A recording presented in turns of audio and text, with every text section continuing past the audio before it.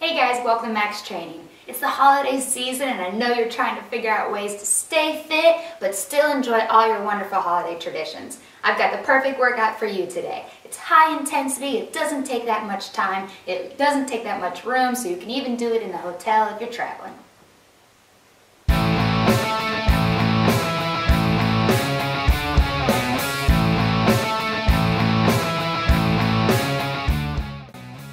You ready?